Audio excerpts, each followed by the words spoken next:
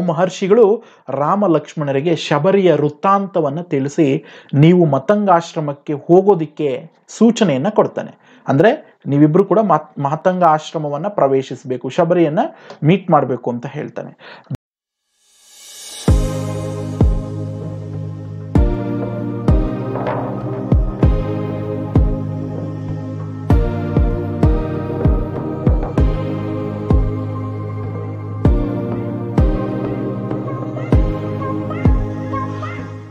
Hi hello ನಮಸ್ತೆ. Welcome to Satish all in one Kannada YouTube channel so ಇವತ್ತಿನ ಒಂದು ವಿಡಿಯೋದಲ್ಲಿ ಹತ್ತನೇ ತರಗತಿ ಪ್ರಥಮ ಭಾಷೆ ಕನ್ನಡ ಶಬರಿ ಗೀತನಾಟಕದ ಬಗ್ಗೆ ನಾವು ಸಂಕ್ಷಿಪ್ತವಾಗಿ ತಿಳ್ಕೊಳ್ತಾ ಇದ್ದೀವಿ. ಈಗ ಎಕ್ಸಾಮ್ ಟೈಮ್ ಇರೋದರಿಂದ ಎಸ್ ಎಸ್ ಎಲ್ ಸಿ ಪ್ರಥಮ ಭಾಷೆ ಕನ್ನಡದ ಸೀರೀಸ್ ಅನ್ನುವಂಥದ್ದನ್ನ ನಾನು ಪುನರಾವರ್ತನೆ ಮಾಡ್ತಾ ಇದ್ದೀನಿ. ಸೊ ಹಾಗಾಗಿ ಇವತ್ತು ಎರಡನೇ ಚಾಪ್ಟರ್ ಆಗಿರ್ತಕ್ಕಂಥ ಶಬರಿ ಅನ್ನುವಂಥ ಗೀತನಾಟಕದ ಕಥೆಯನ್ನು ನಾನು ನಿಮಗೆ ತಿಳಿಸ್ತಾ ಇದ್ದೀನಿ. ಕಥೆಯನ್ನು ಕೇಳಿಸ್ಕೊಂಡಿದ್ದೆ ಆದರೆ ಖಂಡಿತವಾಗ್ಲೂ ನಿಮಗೆ ಪೂರ್ತಿಯಾಗಿ ಈ ಪಾಠದ ಎಲ್ಲ ಅಂಕಗಳನ್ನ ನೀವು ಪಡಿಬಹುದು. ಓಕೆನಾ? ಹಾಗಾದ್ರೆ ಕಥೆಯನ್ನು ಶುರು ಮಾಡೋಣವೇ. ಅದಕ್ಕಿಂತ ಮುಂಚೆ ಸೊ ನೀವೇನಾದರೂ ಹೊಸಬರಾಗಿದ್ರೆ ದಯವಿಟ್ಟು ಸಬ್ಸ್ಕ್ರೈಬ್ ಮಾಡ್ಕೊಳ್ಳಿ ಪಕ್ಕದಲ್ಲಿರೋ ಬೆಲ್ ಐಕನ್ ಅನ್ನು ಕ್ಲಿಕ್ ಮಾಡಿ ಹಾಗೆ ಆಲ್ ನೋಟಿಫಿಕೇಶನ್ ಅನ್ನು ಆನ್ ಮಾಡ್ಕೊಳ್ಳಿ. ಇದರಿಂದ ನಮ್ಮ ನೆಕ್ಸ್ಟ್ ವಿಡಿಯೋ ಅಪ್ಡೇಟ್ ಆಗಿದ ತಕ್ಷಣ ನಿಮಗೆ ಒಂದು ನೋಟಿಫಿಕೇಷನ್ ಮುಖಾಂತರ ಬರುತ್ತೆ. ಗೊತ್ತಾಯ್ತಾ ವಿದ್ಯಾರ್ಥಿಗಳೇ? ಹಾಗಿದ್ರೆ ಬನ್ನಿ ವಿಡಿಯೋವನ್ನು ಸ್ಟಾರ್ಟ್ ಮಾಡೋಣ. ಪಾಠಕ್ಕೆ ಹೋಗೋದಕ್ಕಿಂತ ಮುಂಚೆ ಕವಿ ಕೃತಿ ಪರಿಚಯವನ್ನ ಸ್ವಲ್ಪ ತಿಳ್ಕೊಂಡು ತದನಂತರ ಮುಂದಕ್ಕೆ ಹೋಗೋಣ. ಪು ತಿ ನ ಎಂಬ ಕಾವ್ಯನಾಮದಿಂದ ಬಹಳ ಪ್ರಸಿದ್ಧವಾಗಿರ್ತಕ್ಕಂತಹ ಪುರೋಹಿತ ತಿರುನಾರಾಯಣ ಅಯ್ಯಂಗಾರ್ಯ ನರಸಿಂಹಾಚಾರ್ ಅನ್ನುವಂಥದ್ದು ಇವರ ಪೂರ್ತಿ ಹೆಸರು. ಇವರು ಕ್ರಿಸ್ತ ಶಕ ಒಂಬೈನೂರ ಐದರಲ್ಲಿ ಮಂಡ್ಯ ಅನ್ನುವಂತಹ ಜಿಲ್ಲೆಯ ಮೇಲುಕೋಟೆ ಅನ್ನುವಂತಹ ಒಂದು ಊರಿನಲ್ಲಿ ಜನಿಸ್ತಾರೆ. ಅವರನ್ನ ಸಹ ನಾವಿಲ್ಲಿ ನೋಡ್ಬೋದು. ನಿಮಗೆ ಪೂತಿ ನರಸಿಂಹಾಚಾರ್ಯವರ ಚಿತ್ರ ಸಹ ಇಲ್ಲಿ ಕಾಣ್ತಿದೆ. ಇವರು ಶಬರಿ, ಅಹಲ್ಯೆ ಗೋಕುಲ ನಿರ್ಗಮನ, ವಿಕಟಕವಿ ವಿಜಯ, ಹಂಸದಮಯಂತಿ ಮತ್ತು ಇತರ ರೂಪಕಗಳು, ಹಣತೆ, ರಸಸರಸ್ವತಿ, ಗಣೇಶ ದರ್ಶನ, ಶಾರದಾಯಾಮಿನಿ, ಶ್ರೀಹರಿಚರಿತೆ ಮುಂತಾದಂತಹ ಒಂದು ಕೃತಿಗಳನ್ನು ರಚನೆ ಮಾಡಿದ್ದಾರೆ. ಇವರ ಹಂಸ ದಮಯಂತಿ ಮತ್ತು ಇತರ ರೂಪಕಗಳು ಅನ್ನುವಂತಹ ಕೃತಿಗೆ ಕೇಂದ್ರ ಸಾಹಿತ್ಯ ಅಕಾಡೆಮಿ ಪ್ರಶಸ್ತಿ ಸಿಕ್ಕಿದೆ. ಇವರು ಶ್ರೀಹರಿಚರಿತೆ ಅನ್ನುವಂತಹ ಕೃತಿಯನ್ನು ಬರೆದಿದ್ದಾರೆ. ಅದಕ್ಕೆ ಪಂಪ ಪ್ರಶಸ್ತಿ ಕೂಡ ಸಿಕ್ಕಿದೆ. ಈ ಪಾಠಕ್ಕೆ ಹೋಗೋದಕ್ಕಿಂತ ಮುಂಚೆ ಇದರಲ್ಲಿ ಇದು ಒಂದು ಸ್ವಲ್ಪ ಪೂರ್ವ ಕಥೆಯನ್ನು ನಾವು ತಿಳ್ಕೊಳ್ಳೋಣವೇ. ಹಾಗಾದರೆ ನಾನೊಂದು ಪ್ರಶ್ನೆ ಕೇಳ್ತೀನಿ. ನೀವು ಉತ್ತರ ಹೇಳಿ ನೋಡೋಣ. ಹಿಂದೂ ಧರ್ಮದ ಮಹಾನ್ ಕಾವ್ಯಗಳು ಯಾವುದಪ್ಪ? ಎರಡು ನೋಡೋಣ. ಹೇಳಿ. Yes, good, well tried. ಅಂದರೆ ಹಿಂದೂ ಧರ್ಮದ ಮಹಾನ್ ಕಾವ್ಯಗಳು ಅಥವಾ ಮಹಾನ್ ಗ್ರಂಥಗಳು ಎರಡಿದೆ. ಎಸ್, ನೀವು ಹೇಳಿದ್ ಕರೆಕ್ಟ್. ಒಂದು ಮಹಾಭಾರತ ಇನ್ನೊಂದು ರಾಮಾಯಣ. ಶಬರಿ ಅನ್ನುವಂತಹ ಗೀತ ನಾಟಕವನ್ನ ಈ ರಾಮಾಯಣ ಮಹಾಕಾವ್ಯದಲ್ಲಿ ಬರುವಂತಹ ಒಂದು ಪಾತ್ರವೇ ಶಬರಿ. ಶಬರಿ ಒಬ್ಬ ಬೇಡ ರಾಜನ ಮಗಳು. ಅವಳು ಮದುವೆಯ ಸಂದರ್ಭದಲ್ಲಿ ಆಕೆಗೆ ತನ್ನ ತಂದೆ ಮದುವೆಯ ಊಟಕ್ಕೋಸ್ಕರ ಅಂತ ಹೇಳಿ ಅಸಂಖ್ಯಾತ ಪ್ರಾಣಿಗಳನ್ನು ಹಿಡಿದು ತಂದಿರ್ತಾನೆ. ಅದನ್ನ ಬಲಿ ಕೊಡಬೇಕು ಅಂತ. ಆದರೆ ಶಬರಿಗೆ ಪ್ರಾಣಿಗಳ ಮೇಲೆ ಬಹಳ ಪ್ರೀತಿ. ಅವುಗಳನ್ನು ಕೊಲ್ಲೋದು ಆಕೆಗೆ ಇಷ್ಟ ಇರಲಿಲ್ಲ. ಅದಕ್ಕೆ ತಂದೆ ಒಪ್ಪೋದಿಲ್ಲ. ಅಂತಹ ಸಂದರ್ಭದಲ್ಲಿ ನೀನು ಪ್ರಾಣಿ ಹಿಂಸೆ ಮಾಡೋದಾದರೆ ನಾನು ಮನೆ ಬಿಟ್ಟು ಹೋಗ್ತೀನಿ ಅಂತೇಳಿ ನಿರ್ಧಾರ ಮಾಡಿ ಅಲ್ಲಿಂದ ಬಂದು ಮತಂಗ ಮಹರ್ಷಿ ಅನ್ನುವಂತಹ ಮತಂಗ ಮಹರ್ಷಿಯ ಋಷಿಯ ಆಶ್ರಮದಲ್ಲೇ ಇದ್ದು ಬಿಡ್ತಾಳೆ. ಅಲ್ಲಿಗೆ ಮತಂಗ ಋಷಿಗಳ ಆಶ್ರಮದಲ್ಲಿನೇ ಈಕೆ ಬೆಳೀತಾಳೆ. ಪ್ರತಿನಿತ್ಯ ದಶರಥ ಮಹಾರಾಜ ಇದ್ದಾನಲ್ವಾ ಶ್ರೀರಾಮನ ತಂದೆ ದಶರಥ ಮಹಾರಾಜನ ಪುತ್ರನಾಗಿರ್ತಕ್ಕಂತಹ ಶ್ರೀರಾಮನ ಗುಣ ಸ್ವಭಾವಗಳನ್ನ ಪ್ರತಿನಿತ್ಯ ಹಾಡಿ ಹೊಗಳ್ತಾ ಇರ್ತಾರೆ ಈ ಮಹಾಶ್ರಯ ಆ, ಮಹರ್ಷಿಗಳಾಗಿರ್ತಕ್ಕಂತಹ ಒಂದು ಮತಂಗ ಮಹರ್ಷಿಗಳು. ಇದರಿಂದ ರಾಮನ ಒಂದು ಗುಣ ಸ್ವಭಾವಗಳ ಸೆಳೆತಕ್ಕೆ ಸಿಕ್ಕಿದಂತಹ ಅವನನ್ನ ಕಾಣ್ತಕ್ಕಂಥದ್ದೇ ನನ್ನ ಜೀವನದ ಏಕೈಕ ಗುರಿ ಎಂಬ ಹಂಬಲದಲ್ಲಿ ಇರ್ತಾಳೆ. ಇಲ್ಲಿಗೆ ಮಹತ್ತರವಾದಂತಹ ಒಂದು ನಿರ್ಧಾರ ಅನ್ನುವಂಥದ್ದನ್ನ ಕೈಗೊಂಡಂಗಾಗತ್ತೆ ಮತಂಗ ಋಷಿಗಳ ದಿವ್ಯ ಲೋಕವನ್ನ ಸೇರಿದ ಬಳಿಕ ರಾಮ ಧ್ಯಾನದಲ್ಲಿ ಆಕೆ ತೊಡಗ್ಬೀಳ್ತಾಳೆ. ಪ್ರತಿದಿನ ಆತನ ದರ್ಶನಕ್ಕೋಸ್ಕರನೇ ಕಾಯ್ತಾ ಇರ್ತಾಳೆ. ಇತ್ತ ಮತ್ತೊಂದು ಕಡೆಗೆ ಸೀತೆಯನ್ನ ರಾವಣ ಅನ್ನುವಂಥವನು ಅಪಹರಿಸ್ಬಿಟ್ಟಿರ್ತಾನೆ. ಇದರಿಂದ ಈಗಾಗಲೇ ದುಃಖ ತಪ್ತರಾಗಿರ್ತಕ್ಕಂತಹ ರಾಮ, ಲಕ್ಷ್ಮಣ ಇಬ್ಬರು ಕೂಡ ಸೀತೆಯನ್ನು ಹುಡುಕ್ತಾ ಇರುವಂತಹ ಸಂದರ್ಭದಲ್ಲಿ ತಪಸ್ವಿಯಾದಂತಹ ಧನು ಅಂತಕ್ಕಂಥವರ ಭೇಟಿಯಾಗತ್ತೆ.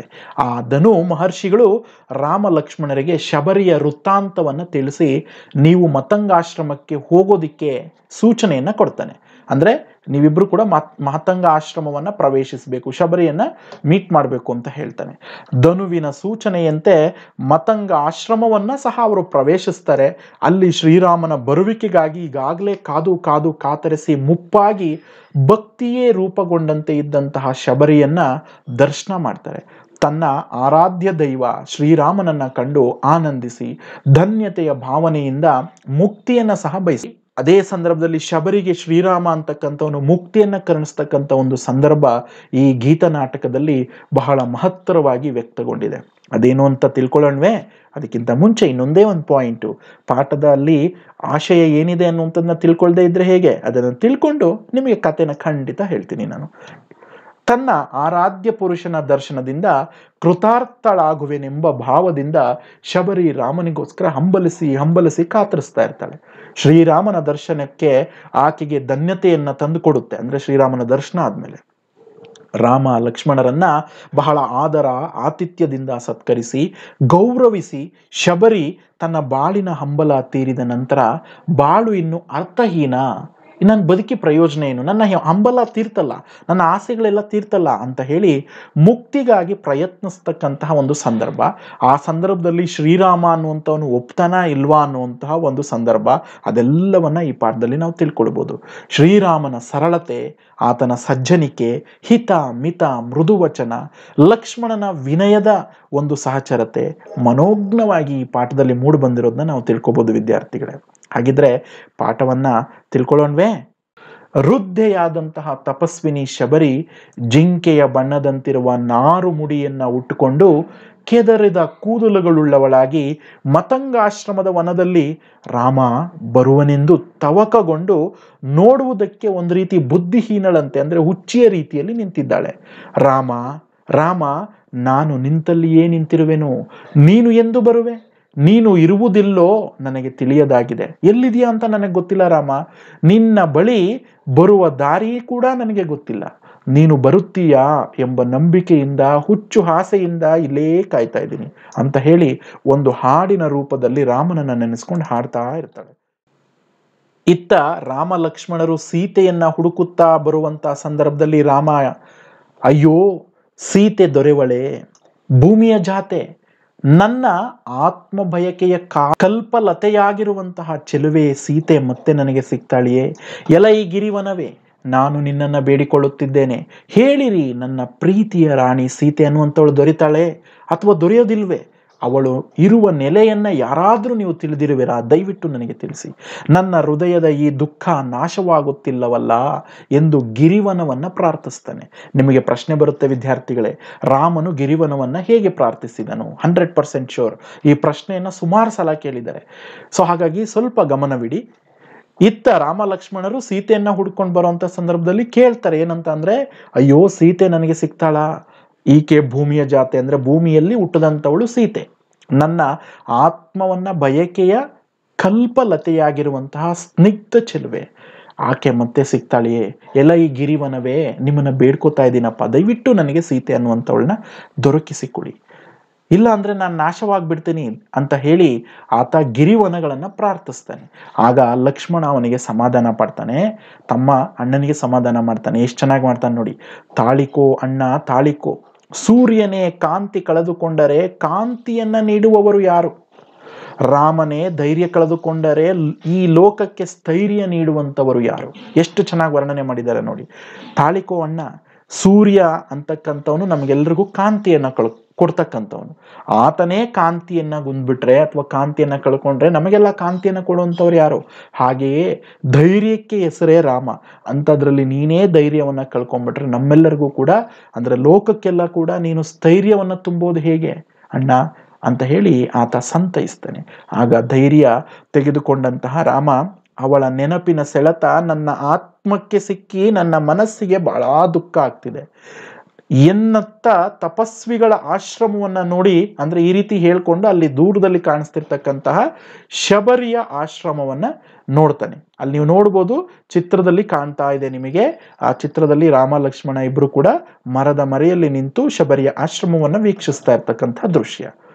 ಅದಕ್ಕೆ ಲಕ್ಷ್ಮಣ, ಹೌದು ಅಣ್ಣ, ನೀನ್ ಹೇಳ್ತಾ ಇರೋದು ಕರೆಕ್ಟು ಚಿತ್ರಕೂಟ ಪರ್ವತದಲ್ಲಿ ಅತ್ತಿಗೆಯ ಜೊತೆಯಲ್ಲಿದ್ದಂತಹ ನೆನಪು ಬರುತ್ತಿದೆ. ನಾನು ಆಕೆಯನ್ನ ಒಂಟಿಯಾಗಿ ಬಿಟ್ಟು ನಿನ್ನನ್ನ ಹುಡುಕಲು ಬಂದು ಬಿಟ್ಟು ತಪ್ಪು ಮಾಡಿದೆ. ಆಗ ಶ್ರೀರಾಮ ಹೇಳ್ತಾನೆ, ಮರುಗಬೇಡ ತಮ್ಮ, ಆದದ್ದೆಲ್ಲ ಆಗೋಯ್ತು. ದೈವ ನಿನ್ನನ್ನ ಭ್ರಾಂತಿಗೊಳಿಸಿತ್ತು ಬಿಡು. ನೀನ್ ಅದಕ್ಕೆ ನಿನ್ನ ತಪ್ಪೇನಿಲ್ಲ ಅಂತ.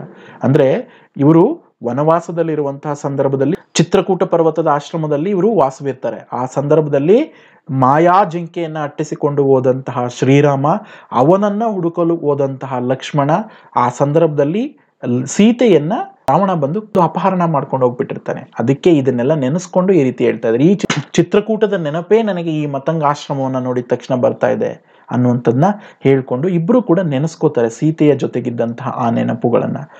ಲಕ್ಷ್ಮಣ, ನಾವು ಧನು ಮಹರ್ಷಿ ಹೇಳಿದ ದಾರಿಯಲ್ಲೇ ಬಂದಿದ್ದೇವೆ ಅಲ್ವೇ?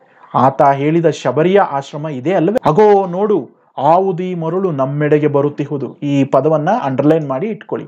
ಯಾವುದು ದೆವ್ವ ನಮ್ಮ ಕಡೆಗೆ ಬರುತ್ತಿದೆ ಅಂತಾರೆ ಯಾಕೆ ಅಂತಂದ್ರೆ ಆಕೆಯ ಒಂದು ವೇಷಭೂಷ ಆ ಥರ ಇತ್ತು. ಅಂದ್ರೆ ವೈ, ಬಿಳಿಯ ಒಂದು ವಸ್ತ್ರಧಾರಿ, ಘಟಿಲವಾದಂತಹ ಶಬರಿ, ತಿರಿಗಟ್ಟಿರ್ತಕ್ಕಂಥ ತನ್ನ ಕೂದಲು, ಮುಖದ ಸೌಂದರ್ಯ ಅನ್ನುವಂಥದ್ದು ಬಾಡಿ ಹೋಗಿದೆ. ಸೊ, ಒಂದು ರೀತಿ ಉಚ್ಚಿ ತರ ಅವಳು ಕಾಣಿಸ್ತಿದ್ದಾಳೆ. ಅದು ಯಾರು ಬರ್ತಾ ಇರ್ತಕ್ಕಂಥದ್ದು? ಇದರ ಬಯಕೆ ಏನೆಂದು ತಿಳಿಯೋಣ ಎಂದು ಲಕ್ಷ್ಮಣ ಕೇಳ್ತಾನೆ. ಆಗ ಲಕ್ಷ್ಮಣ, ಹೌದು ಅಣ್ಣಯ್ಯ, ಇದನ್ನು ಪರೀಕ್ಷಿಸುವ ಮೊದಲು ಎದುರುಗಡೆಗೆ ಏನಾದರೂ ನಾವು ಹೋದರೆ ಏನಾದರೂ ತೊಂದರೆ ಆಗ್ಬೋದು ನಮಗೆ. ಅದಕ್ಕೋಸ್ಕರ ಮರದ ಮರೆಯಲ್ಲಿ ನಿಂತ್ಕೊಂಡು ನಾವು ಪರೀಕ್ಷೆ ಮಾಡೋಣ, ಆಮೇಲೆ ನಾವೇನು ಮಾಡೋಣ? ಆಕೆಯನ್ನು ಪರೀಕ್ಷಿಸೋಣ, ಅಂತ ಹೇಳ್ತಾರೆ. ಇತ್ತ ಆಗ ಮರದ ಮರೆಯಲ್ಲಿ ನಿಂತ್ಕೊಂಡಿದ್ದಾದ್ಮೇಲೆ ಆಶ್ರಮದಲ್ಲಿ, ಆ ಒಂದು ಆಶ್ರಮದಲ್ಲಿ ಶಬರಿ ರಾಮನ್ಗೋಸ್ಕರ ತಳಿರು ಹೂವು, ಹಣ್ಣು, ಹಂಪಲುಗಳನ್ನ ತನ್ನ ತಲೆಯಲ್ಲಿ, ತಲೆ ಮೇಲೆ ಹೊತ್ಕೊಂಡು ಕಂಕಳಲ್ಲಿ ಕೈಯಲ್ಲಿ ಹಿಡಿದುಕೊಂಡು ಬರ್ತಾ ಇರ್ತಾಳೆ. ರಾಮ ಬರದೆ ನನಗೆ ಏನೂ ತೋಚುತ್ತಿಲ್ಲ. ರಾಮ, ನೀನು ಯಾವಾಗ ಬರ್ತೀಯ? ಅವನು ತಿನ್ನದ ಈ ಅತಿಸವಿಯಾದಂತಹ ಹಣ್ಣುಗಳನ್ನು ನಾನು ಏನು ಮಾಡಲಿ? ಜೇನುತುಪ್ಪ ಅಧಿಕವಾಗಿರುವಂತಹ ಈ ಮಧುಪರ್ಕವನ್ನು ನಾನು ಯಾರಿಗೆ ಅಂತ ಕೊಡಲಿ? ಬಾರಾಮ ನನ್ನ ಮನದ ರಾತ್ರಿಯ ಚಂದಿರನೇ ತೆಗೆದುಕೋ ಈ ಹಣ್ಣುಗಳನ್ನು, ಈ ಹೂಗಳನ್ನ ಎಲ್ಲವನ್ನ ತೆಗೆದುಕೋ. ನನ್ನನ್ನು ನೀನು ಪರೀಕ್ಷಿಸುತ್ತಿರುವೆಯಾ? ನೀನು ಬರದೆ ನನಗೆ ಏನೂ ಸೇರುತ್ತಿಲ್ವಲ್ಲ ಎಂದು ಹಾಡುತ್ತಾ ಹಾಡುತ್ತಾ ರಾಮ ಧ್ಯಾನದಲ್ಲಿ ಐ ಮೀನ್ ರಾಮನ ಧ್ಯಾನದಲ್ಲಿ ಆಕೆ ತೊಡಗಿರ್ತಾಳೆ. ಇಲ್ಲಿ ಶಬರಿ ರಾಮನಿಗೋಸ್ಕರ ಹಂಬಲಿಸ್ತಾ ಇರ್ತಕ್ಕಂತಹ ಒಂದು ವಿಚಾರಗಳನ್ನ ಈ ಪದ್ಯದಲ್ಲಿ ನಾವು ತಿಳ್ಕೋಬಹುದು ಇದನ್ನ ಕಂಡಂತ ಶ್ರೀರಾಮ, ನನಗೋಸ್ಕರ ಎಷ್ಟೊಂದು ಹಂಬಲಿಸುವಂತಹ ಈ ಜಟಿಲ ಕಬರಿ ಕಬಂದ ಹೇಳಿದಂತಹ ತಪಸ್ವಿ ಶಬರಿಯೇ ಇರಬೇಕು. ಇಲ್ಲಿ ಕಬಂದ ಅಂತ ಕರೆದಿರೋದು ಕೂಡ ಧನು ಮಹರ್ಷಿಯನ್ನೇ ಆತನನ್ನೇ. ಆತ ಹೇಳಿದಂತಹ ಶಬರಿ ಇರಬೇಕು. ಈಕೆಗೆ ನನ್ನಿಂದ ಸ್ವಲ್ಪವೂ ಉಪಕಾರವಾಗಲಿಲ್ಲ. ಆದರೂ ಪ್ರೀತಿಯಿಂದ ನನ್ನನ್ನು ನೆನೆಸ್ಕೊತಿದ್ದಾಳಲ್ಲ. ಅದಕ್ಕೋಸ್ಕರ ನಾಚುತಿಹೇನಿ ಪೂಜ್ಯ ಈ ನಲುಮೆಯಿಂದ ಸಂದರ್ಭಕ್ಕೆ ಬರುತ್ತೆ ವಿದ್ಯಾರ್ಥಿಗಳೇ. ಅಂದ್ರೆ ಈ ಪೂಜ್ಯಳ ಅನುರಾಗದಿಂದ ನಾನೇ ನಾಚುತ್ತಿದ್ದೆ ಎಂದು ಲಕ್ಷ್ಮಣನಿಗೆ ಹೇಳಿದಾಗ, ಲಕ್ಷ್ಮಣ ಅಣ್ಣ, ನಿನ್ನನ್ನ ನೋಡದೆ ಇಷ್ಟೊಂದು ಹುಚ್ಚಿಯಾದಂತಹ ಈ ತಪಸ್ವಿನಿ ಇನ್ನು ನಿನ್ನನ್ನ ನೋಡಿದ ಬಳಿಕ ಅದೇನಾಗ್ತಾಳೋ ಈ ಮುದುಕಿ, ಅಂತ ಹೇಳ್ತಾನೆ. ಆಗ ರಾಮ, ರೂಪಕ್ಕೂ ಹೆಸರಿಗೂ ಮಿಗಿಲಾದ ಆತ್ಮ ಕಾಮದೇನು ಅದು. ನನ್ನನ್ನು ಕಾಣುತ್ತಲೇ ಇವಳ ವಿಸ್ಮಯ ತಿಳಿಯುವುದು ಎಂದಾಗ ಲಕ್ಷ್ಮಣ, ಪ್ರತಿದಿನ ನಾನು ನಿನ್ನನ್ನು ನೋಡುತ್ತಲೇ ಇರುವೆನು. ಆದರೂ ನನ್ನ ವಿಸ್ಮಯ ಸಮಾಧಾನಗೊಂಡಿಲ್ಲ ಅಣ್ಣ. ಬಾ, ಇದನ್ನ ಈ ತಪಸ್ವಿನಿಯ ಆಶ್ರಮದಲ್ಲಿ ಪರೀಕ್ಷೆ ಮಾಡೋಣ ಎನ್ನುತ್ತಾ ಆಶ್ರಮದ ಕಡೆಗೆ ಇಬ್ಬರು ಹೋಗ್ತಾ ಇರ್ತಾರೆ. ಆಗ ರಾಮ ಹೇಳ್ತಾನೆ, ನಡೆ ಲಕ್ಷ್ಮಣ, ನೀನು ಮುಂದೆ ಅಂತ ತಕ್ಷಣ, ಇಲ್ಲ ಅಣ್ಣ, ಅಣ್ಣನಾಗಿರ್ತಕ್ಕಂಥ ನೀನು ಮುಂದೆ, ನಿನ್ನ ಹಿಂದೆ ನಾನು ಬರುತ್ತೇನೆ. ಮೊದಲ ಅವಳ ದೃಷ್ಟಿಗೆ ನೀನೇ ಬೀಳ್ಬೇಕು ಎಂದು ರಾಮನನ್ನ ಮುಂದೆ ಕಳಿಸ್ತಾನೆ. ಇತ್ತ ಶಬರಿ ರಾಮನಿಗೋಸ್ಕರ ಹೂ ಹಣ್ಣುಗಳನ್ನು ಇಟ್ಕೊಂಡು ಒಂದು ಹಾಡು ಹೇಳ್ತಾ ಇರ್ತಾಳೆ, ಅದೇನು ಅನ್ನುವಂಥದ್ದನ್ನ ನೋಡೋಣ ರಾಮನಿಗೋಸ್ಕರ ಈ ಹೂವು, ಹಣ್ಣು, ಹಂಪಲುಗಳನ್ನು ಹೊಂದಿಸುತ್ತಾ ಅವುಗಳನ್ನು ಕುರಿತು ಹೀಗೆ ಹಾಡ್ತಾಳೆ. ಎಲೈ ಕೆಂಪಾದ ಚಿಗುರೆ, ನಿನ್ನ ಎಳೆತನದ ಕೋಮಲತೆಯನ್ನ ಅವನ ಮುಟ್ಟದೆ ಬರೀ ಗಾಳಿಗೆ ಒಣಗಿರುವೆಯಲ್ಲ. ದುಂಬಿಗಳ ಸಮೂಹದ ವರ್ಣನೆಗೆ ಆಶ್ರಯವಾದ ಅರಳಿದ ಹೂಗಳೇ, ನಿಮ್ಮ ಸುವಾಸನೆಯಿಂದ ಅವನ ಜೀವನವನ್ನ ಉತ್ತೇಜಿಸದೆ ಬಾಡಿ ಹೋಗಿರುವಿರಲ್ಲವೇ. ಅವನ ಜೀವಕ್ಕೆ ಆಹಾರವಾಗದೆ ರುಚಿ ಹದಗೆಟ್ಟ ಉಳುವಿಗೆ ಆಸರೆಯಾದ ಎಲೈ ವನ್ಯಫಲವೇ? ಬಳಸಲಾಗದ ಮಾಸುವ, ಅಂದರೆ ಕೆಟ್ಟು ಹೋಗುವ ಇವುಗಳನ್ನು ತೆಗೆದು ಮತ್ತೆ ಮತ್ತೆ ಹೊಸತರಿಂದು ಸಿದ್ಧ ಮಾಡುವೆ. ಈ ಛಲವೇ ಎಂದು ಹೂಮಾಲೆಯನ್ನು ಕಟ್ತಾ ಕಟ್ತಾ ಹಾಡ್ತಾ ಇರ್ತಾಳೆ. ಅಂದರೆ ಈಗಾಗಲೇ ರಾಮನಿಗೋಸ್ಕರ ಆಕೆ ಪ್ರತಿದಿನ ಹೂಗಳು, ಹಣ್ಣುಗಳನ್ನು ಎಲ್ಲವನ್ನ ಹೊಸ ಹೊಸದಾಗಿ ತಂದಿಡ್ತಾ ಇರ್ತಾಳೆ. ಆಗ ಆತ ಬರದೇ ಇದ್ದಂಥ ಸಂದರ್ಭದಲ್ಲಿ ಮತ್ತೆ ಅವೆಲ್ಲ ಕೆಟ್ಟೋಗಿರ್ತಕ್ಕಂಥದ್ದನ್ನ ಮತ್ತೆ ರೀಪ್ಲೇಸ್ ಮಾಡಿ, ಅಂದರೆ ಹೊಸದನ್ನು ಇಡ್ತಾ ಇರ್ತಾಳೆ. ಅದಕ್ಕೋಸ್ಕರ ಆ ಕೆಟ್ಟಿರ್ತಕ್ಕಂಥ ಹೂ ಹೂ ಹಣ್ಣುಗಳನ್ನು ನೋಡಿ ಈ ರೀತಿ ಒಂದು ಹಾಡನ್ನು ಹೇಳ್ತಾ ಇರ್ತಾಳೆ. ಎಂದು ಕಾಣುವೆನೋ ರಾಮನನ್ನು ಆತ ದಶರಥನ ಮಗನಂತೆ ಸಾಧು ಸಜ್ಜನರ ಮಿತ್ರನಂತೆ ಧೀರನಂತೆ ಶೂರನಂತೆ ವೀರನಂತೆ ಗಂಭೀರ ಸದ್ಗುಣಗಳ ಸಾರನಂತೆ ಎದರಿಸುವವರ ಹೆದರುವಂತೆ ಬಿಲ್ಲು ಹಿಡಿದು ಬರುವನಂತೆ. ನೋಡಿ ಎಷ್ಟು ಚೆನ್ನಾಗಿದೆ. ಆತ ಒಬ್ಬ ಸಾಧು ಸಜ್ಜನನಂತೆ, ಮಿತ್ರರಿಗೆ ಮಿತ್ರನಂತೆ, ಧೀರನಂತೆ ಶೂರ ಬಹಳ ಸದ್ಗುಣಗಳನ್ನು ಹೊಂದಿರತಕ್ಕಂಥವನು. ಯಾರು ಅವನನ್ನ ಎದುರಿಸೋದಕ್ಕೆ ಬರ್ತಾರೋ ಖಂಡಿತವಾಗ್ಲೂ ಅವನನ್ನ ಎದುರಿಸೋದಕ್ಕೆ ಬಿಲ್ ಹಿಡ್ಕೊಂಡು ಬರ್ತಾನಂತೆ. ಆದರೂ ಬಲು ಸೌಮ್ಯ ಸ್ವಭಾವದವನಂತೆ. ಮಗುವಿನಂತೆ ಕಾಣುವನಂತೆ, ಮುಗ್ಧನಂತೆ. ರಾಜ ಪದವಿಯನ್ನೇ ತ್ಯಾಗ ಮಾಡಿದನಂತೆ. ರಾಜ ಪದವಿಯನ್ನ ಹೇಗೆ ತ್ಯಾಗ ಮಾಡಿದ? ಸೊ ನಿಮಗೆ ಗೊತ್ತಿದೆ, ಕಥೆಯ ಪ್ರಕಾರ ಕೈಕೆ ತನ್ನ ಕೋಪದಿಂದ ದಶರಥ ಮಹಾರಾಜನಿಗೆ ಹೇಳ್ತಾಳೆ. ಏನಂತ ಅಂದರೆ ನನ್ನ ಮಗನಾಗಿರ್ತಕ್ಕಂಥ ಭರತನಿಗೆ ಪಟ್ಟಾಭಿಷೇಕ ಕಟ್ಟಬೇಕು ರಾಮನನ್ನು ಕಾಡಿಗೆ ಪಾಲ್ ಮಾಡಬೇಕು, ಅಂದರೆ ವನವಾಸಕ್ಕೆ ಕಳಿಸ್ಬೇಕು ಅಂದಾಗ ಅದಕ್ಕೆ ಬಹಳ ಪ್ರೀತಿಯಿಂದ ಒಪ್ಕೋತಾನೆ, ಬಹಳ ಮುಗ್ಧನಂತೆ ಒಪ್ಕೋತಾನೆ ರಾಮ. ತಾನು ದೊಡ್ಡವನಾಗಿದ್ದು ತನಗೆ ರಾಜ್ಯ ಸಿಕ್ಕಬೇಕು ಅಂತ ಗೊತ್ತಿದ್ರೂ ತನ್ನ ತಾಯಿ ಹೇಳಿದ ಮಾತಿಗೆ ಅಂದ್ರೆ ತನ್ನ ಚಿಕ್ಕಮ್ಮನಾಗಬೇಕಾಕೆ. ಆಕೆ ಹೇಳಿದಂಥ ಮಾತಿಗೆ, ಹೌದು, ನನ್ನ ತಮ್ಮ ತಾನೇ ರಾಜ ಪದವಿಯನ್ನು ತೆಗೆದುಕೊತಾನೆ ಆಕೆಯೂ ಸಹ ನನ್ನ ತಾಯಿಗೆ ಸಮಾನಳು. ಅವಳ ಆಸೆಯನ್ನು ಈಡೇರಿಸ್ತೇನೆ ಅಂತೇಳಿ ಭಾಳ ಸೌಮ್ಯ ಸ್ವಭಾವದವನಂತೆ ಕಾಡಿಗೆ ಹೋಗ್ತಾನೆ. ಅವನನ್ನ ಸೀತೆ ಮತ್ತೆ ಲಕ್ಷ್ಮಣ ಇಬ್ಬರು ಹಿಂಬಾಲಿಸಿ ಕಾಡಿಗೆ ಹೋಗ್ತಾರೆ. ಈ ರೀತಿ ಆತ ತನ್ನ ಪದವಿಯನ್ನ ಕೂಡ ತ್ಯಾಗ ಮಾಡಿದ್ನಂತೆ. ತಪಸ್ವಿತನವ ಹಿಡಿದವನಂತೆ. ಆಮೇಲೆ ಕಾಡಿಗೆ ಹೋಗಿ ತಪಸ್ವಿ ಆದ್ನಂತೆ ತಮ್ಮೊಡನೆ ಕಾಡಿಗೆ ಬರಲು ಮನದಲ್ಲೇ ಭಯವೇ ಇಲ್ಲವಂತೆ. ಕೆಟ್ಟ ಕನಸಿನ ರಾತ್ರಿಯನ್ನು ಕಳೆಯುವ ಸುಂದರವಾದಂತಹ ಬೆಳಗಿನಂಥವನು ಗುರುಗಳು, ತಪಸ್ವಿಗಳು ಮೆಚ್ಚಿದಂತಹ ಸನ್ಮಂಗಳ ಮೂರ್ತಿಯನ್ನ ಎಂದು ಕಾಣುವೆನೋ? ಎಂದು ಶ್ರೀರಾಮನ ಗುಣಗಾನವನ್ನ ಮಾಡ್ತಾ ಹಾಡ್ತಾ ಇರ್ತಾಳೆ. ಇದನ್ನ ನೋಡುತ್ತಾ ನಿಂತಿದ್ದಂತಹ ರಾಮ ಶಬರಿಯ ಬಳಿಗೆ ಬಂದು ಒಂದು ಮಾತನ್ನ ಹೇಳ್ತಾನೆ. ಮೊದಲನೆಯ ಮಾತು ಶಬರಿ ಮತ್ತು ರಾಮನ ನಡುವಿನ ಮಾತು. ತಾಯಿ, ದಾರಿಗರಿಗಿಲ್ಲಿ ಬೀಡು ದೊರೆಯುವುದೇ? ಇದನ್ನು ಕೂಡ ಸಂದರ್ಭ ಕೇಳುವಂತ ಚಾನ್ಸಸ್ ಇರುತ್ತೆ. ಅಂದ್ರೆ, ತಾಯಿ, ನಾವು ಇದೇ ದಾರಿಯಲ್ಲಿ ಪ್ರಯಾಣಕ್ಕೆ ಹೋಗ್ತಾ ಇದ್ದೀವಿ. ನಾವು ಪ್ರಯಾಣಿಕರು, ನಮಗೆ ಸ್ವಲ್ಪ ಹೊತ್ತು ವಿಶ್ರಾಂತಿ ತೆಗೆದುಕೊಳ್ಳಲು ಏನಾದರೂ ಈ ಆಶ್ರಮದಲ್ಲಿ ಒಂದು ಸ್ವಲ್ಪ ಸ್ಥಳಾವಕಾಶ ಸಿಕ್ಕಬಹುದೇ ಎಂದು ಕೇಳುತ್ತಾನೆ. ಆಗ ಶಬರಿ ರಾಮನನ್ನ ವಿಸ್ಮಯದಿಂದ ನೋಡ್ತಾಳೆ. ನೀನೇನಾ? ನೀನೇನಾ ಆ ಮಹಾಪುರುಷ? ನಿನ್ನನ್ನೇನಾ ರಾಮ ಅಂತ ಕರೀತಾರೆ ಎಲ್ಲರನ್ನು ಕೂಡ. ಆಗ ರಾಮ, ಹೌದು ತಾಯಿ, ಹೌದು, ನಾನು ನನ್ನನ್ನೇ ರಾಮ ಅಂತ ಎಲ್ಲರೂ ಕರೀತಾರೆ. ಈತ ನನ್ನ ತಮ್ಮ ಲಕ್ಷ್ಮಣ ಎಂದಾಗ ಶಬರಿಗೆ ಆಶ್ಚರ್ಯದಿಂದ, ನೀವು ರಾಮ ಲಕ್ಷ್ಮಣರೇ, ನೀನು ರಾಮನೇ ಎಂದು ತುಂಬ ಸಡಗರದಿಂದ ಅವರನ್ನು ಉಪಚಾರ ಮಾಡ್ತಾಳೆ. ಆ ಉಪಚಾರ ಮುಂದೆ ಶಬರಿಯ ಸಡಗರ ಮತ್ತು ಸಂತೋಷ ಅನ್ನುವಂಥದ್ದು ಈ ಮೇಳದವರ ಹಾಡಿನಲ್ಲಿ ವರ್ಣನೆ ಆಗುತ್ತೆ. ನಿಮಗೆ ಇಲ್ಲಿ ಚಿತ್ರದಲ್ಲಿ ನೀವು ನೋಡ್ಬೋದು ಶಬರಿ, ರಾಮ ಮತ್ತು ಲಕ್ಷ್ಮಣರನ್ನ ಕೂರಿಸಿ ಯಾವ ರೀತಿ ಉಪಚಾರ ಮಾಡ್ತಿದ್ದಾಳೆ ಹಣ್ಣು ಹಂಪಲುಗಳನ್ನು ನೀಡಿ ಅಂತ. ರಾಮ, ಲಕ್ಷ್ಮಣರು ಬಂದು ತಮ್ಮ ಮುಂದೆ ನಿಂತಿರುವುದನ್ನು ಕಂಡಂತಹ ಶಬರಿ ಬೆರಗಾಗೋಗ್ತಾಳೆ. ಬೆರಗು ಕಳೆದ ಮೇಲೆ ರಾಮನ ಹತ್ತಿರಕ್ಕೆ ಬಂದು ಮೈಯನ್ನ ಮುಟ್ಟಿ ಪಾದಕ್ಕೆ ಬೀಳ್ತಾಳೆ. ಅವನ ಕೈಯನ್ನ ಕಣ್ಣಿಗೆ ಹೊತ್ಕೋತಾಳೆ. ಆನಂದದ ಕಣ್ಣೀರನ್ನ ಸುರಿಸ್ತಾಳೆ. ಆನಂದ ಬಾಷ್ಪ ಅಂತ ನಾವು ಕರಿತೀವಿ. ಸಂತೋಷದಲ್ಲಿ ಬರ್ತಕ್ಕಂಥ ಕಣ್ಣೀರದು ಬನ್ನಿರಿ ಬನ್ನಿರಿ ಎಂದು ಅವರನ್ನ ಕರೆಯುತ್ತಾ, ಅಯ್ಯೋ, ನಾನು ಇವತ್ತೇ ಏನು ಸಿದ್ಧ ಮಾಡ್ಲಿಲ್ವಲ್ಲ? ನಿನ್ನೆಯಷ್ಟು ಇವತ್ತು ಚೆನ್ನಾಗಿಲ್ವಲ್ಲ? ಎನ್ನುತ್ತಾ ಹಂಬಲಿಸ್ತಾಳೆ, ತಡವರಿಸ್ತಾಳೆ. ತನ್ನ ಮನದ ಬಯಕೆಯಂತೆ ಬಗೆಬಗೆಯ ಸುವಾಸನೆಯನ್ನ ಬೀರ್ತಕ್ಕಂತಹ ಒಂದು ಹಣ್ಣುಗಳನ್ನು ಅವರಿಗೆ ನೀಡ್ತಾಳೆ. ಮತ್ತೆ ರಾಮನ ಕೊರಳಿಗೆ ವಿವಿಧವಾಗಿ ಸುವಾಸನೆಯನ್ನು ಬೀರ್ತಕ್ಕಂತಹ ಒಂದು ಹೂವಿನ ಮಾಲೆಗಳನ್ನು ಅವನ ಕೊರಳಿಗೆ ಹಾಕಿ ಸಂಭ್ರಮಿಸ್ತಾಳೆ.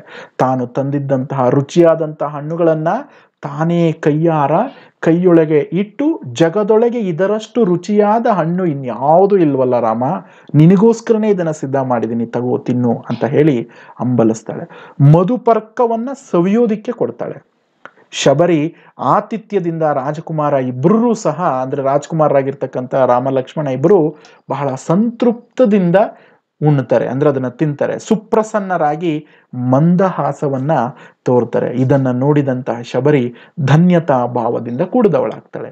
ಅಲ್ಲಿಗೆ ಶಬರಿಯ ಆಸೆ ಎನ್ನುವಂಥದ್ದು ರಾಮ ಲಕ್ಷ್ಮಣರನ್ನ ಭೇಟಿ ಮಾಡಬೇಕು. ಅವರಿಗೆ ಒಂದು ಹಣ್ಣುಗಳನ್ನು ತಿನ್ನಿಸ್ಬೇಕು, ಅವರಿಗೆ ಉಪಚಾರ ಮಾಡಬೇಕು ಅನ್ನುವಂಥದ್ದು ಅವಳ ಆಸೆ ಅನ್ನುವಂಥದ್ದು ಅಲ್ಲಿಗೆ ಈಡೇರಿದಂಗೆ ಆಯಿತು ಇನ್ನು ಮುಂದೆ ಆಕೆ ಮುಕ್ತಿಯನ್ನ ಬಯಸ್ತಾಳೆ. ಅದು ಏನು ಮುಕ್ತಿ ಅಂತಂದ್ರೆ, ಮುಕ್ತಿಯನ್ನ ನಿಜವಾಗ್ಲೂ ಕೂಡ ರಾಮ ಆಕೆಗೆ ಪ್ರಸನ್ನವನ್ನ ಮಾಡ್ತಾನ ಅಥವಾ ಕರುಣಿಸ್ತಾನ ಇಲ್ವಾ? ಮುಂದಿನ ಒಂದು ಕತೆ ಏನಿರಬಹುದು ಅನ್ನುವಂಥ ಕುತೂಹಲ ನಿಮ್ಗಿದೆಯಲ್ಲೇ ವಿದ್ಯಾರ್ಥಿಗಳೇ? ಇದೆಯಲ್ವಾ? ಸೊ ಹಾಗಾದ್ರೆ ಆ ಕಥೆನ ತಿಳಿಬೇಕು ಅಂತಂದ್ರೆ ನೆಕ್ಸ್ಟ್ ವಿಡಿಯೋದಲ್ಲಿ ನಾವು ಭೇಟಿಯಾಗೋಣ.